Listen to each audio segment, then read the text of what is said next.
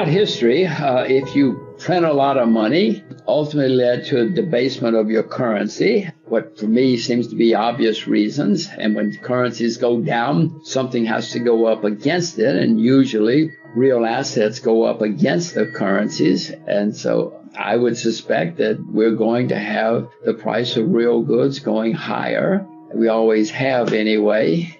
But again, you have to consider the supply and demand aspects of it as well. But if you have a lot of money printing, the value of the money is going to go down and the value of something is going to go up against it, whether it's sugar or, you know, who knows what, lead, something. No, you know, even now China has debt.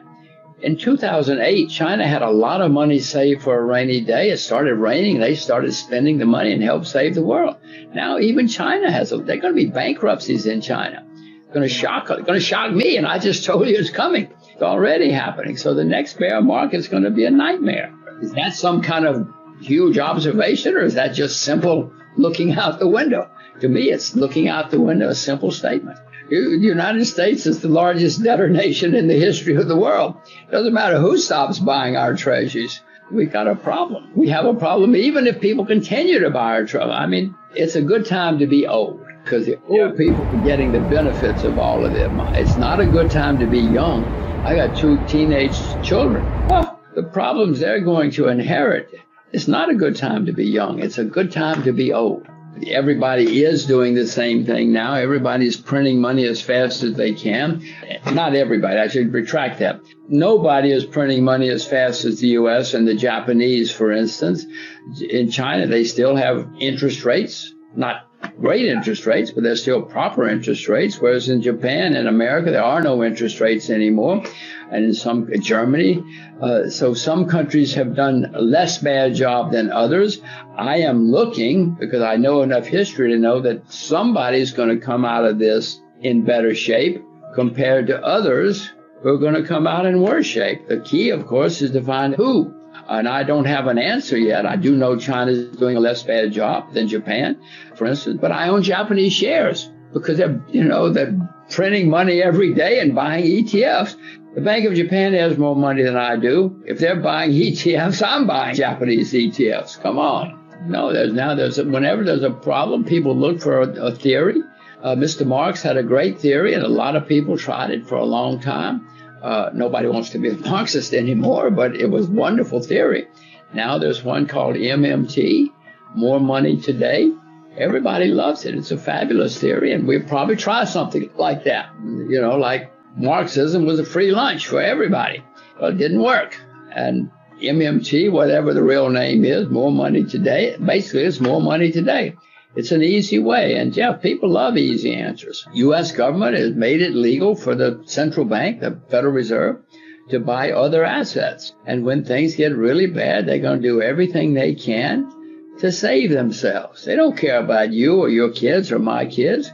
They care about the next election. And the way they do that is if they have to, is they flood the money. They're all going to buy IBM or Ford or whatever they're going to buy. I mean, to me, it's just a simple fact. I look around the world I know that in 2008 we had a horrible problem in the world because of too much debt. Well, I mean, I read the same newspapers you do. I know that since 2008, debt all over the world has skyrocketed. So I say to myself, well, the next time we have a problem, it's got to be the worst in my lifetime because the debt is so, so much worse than 2008. To me, that's just a simple statement. Yeah. Simple observation like, you know, we're going to have bad blizzards every few years. Well, you have bad blizzards. If I tell you we're going to have horrible blizzards every few years, is that a grandiose statement? Look at what happened in Texas.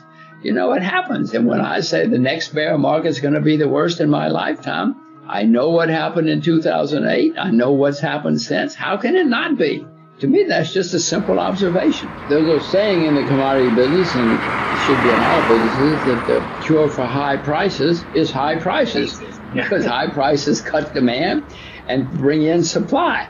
And that's what happened. Uh, the other part of the saying is the cure for low prices is low prices. If prices are low a long time, people buy more and stop producing. So, I mean, these cycles have been going on for hundreds of years, certainly, and probably thousands, and that's going to continue.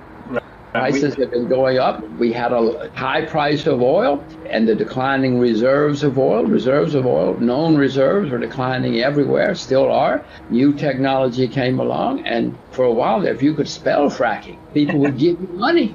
And a bubble developed. Then, of course, we all realized, oh, wait, we got to make money. These guys got to pay their debts. Right. So the fracking bubble popped and burst, as all bubbles do. Fracking's still there, but you got to make money at it now. So known reserves of oil still continue to decline, except for fracking, and fracking's not a bubble anymore.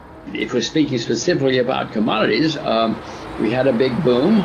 Oil went from nothing to 150 US dollars a barrel. Uh, it's now back to 60 US dollars a barrel, or whatever it is. Uh, we had booms, and that's happened with many, many commodities since then. You know, many commodities boomed and collapsed. Bonds are in a bubble all over the world property many places sold. I mean, I can't believe what a bubble there is in property and sold.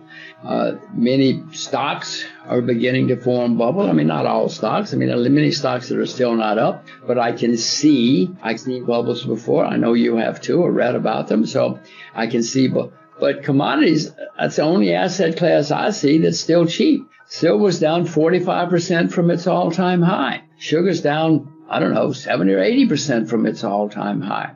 Oil's down over 50% from its all time high. So commodities are the only asset class as a class that I see that's still cheap. And I know the fundamentals are changing.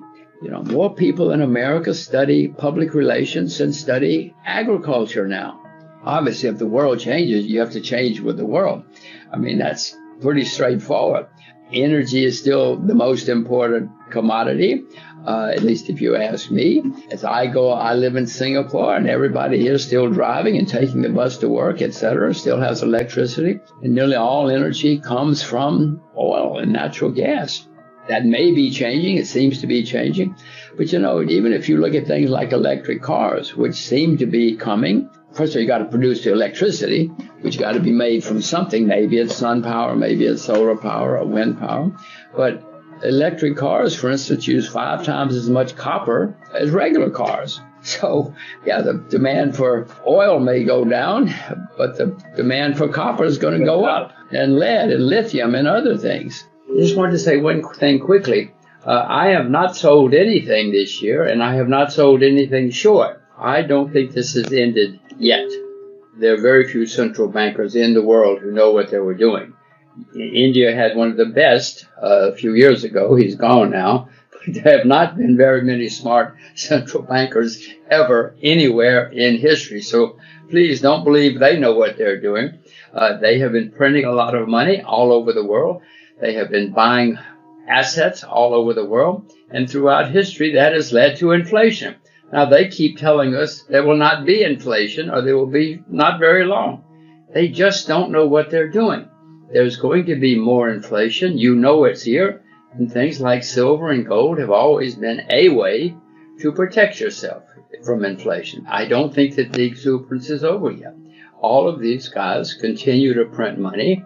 Uh, and what will happen it, when things get bad, when the markets go down for a while, they will panic and they will print more money. They don't want to lose their jobs. They will do whatever it takes to keep their jobs. It's not good for you and me. It's not good for the world. But they don't care about you and me. They care about their jobs.